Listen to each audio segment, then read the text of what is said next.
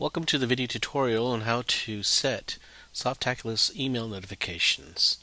We're going to go through the different notification types that you can see um, with Softaculous. This includes update notifications and other five other notifications that you can set within Softaculous. So first you need to log into cPanel as I have here and you go down to the Softaculous icon. This is under software and services, and here it is right here.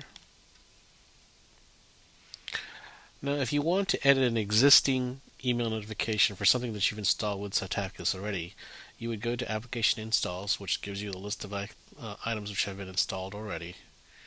Then you would go to the Edit icon, click on that, and you would scroll down to where it shows you Disable Update Notifications. By default, notifications are enabled. If you want to disable it, you simply click on the box to disable it. Once you've disabled it, you click on Edit Installation Details to save your change. So I'm going to return back to the home directory for Softaculous. And then we're going to look at our setting here up top called Email Settings.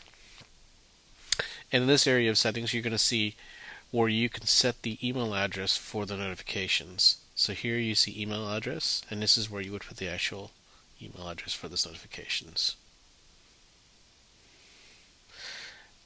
Now there are five other notifications that you can set. Installation emails, which sends you an email whenever you install something new with Softaculous. Remove installation so that you're notified again by email. All these are by email. Um, so this one gives you a notification when you remove software with Softaculous. If you edit an installation, it'll send you a notice. If you make a backup, and if you clone emails, it'll send you a notice. Each of these are enabled by a checkmark. The final setting you see here at the bottom is disable all update notifications. As you can see, by default, all notifications are enabled. If you want to disable all of them, and this means every single notification type, including the update notifications for software updates and, and upgrades, then you would click on this box. Once you've made your selection for any of these settings, you would actually click on Edit Email Settings in order to save your selection or your email entry.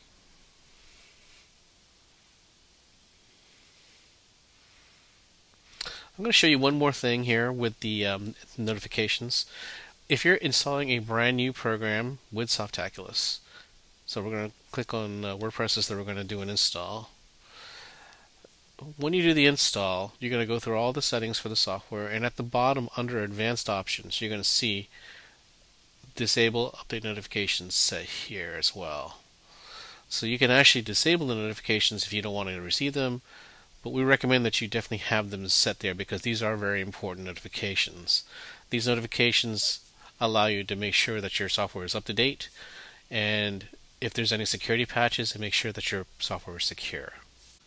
And that completes the video for the tutorial on how to set your email notifications in Softaculous. Thanks for listening.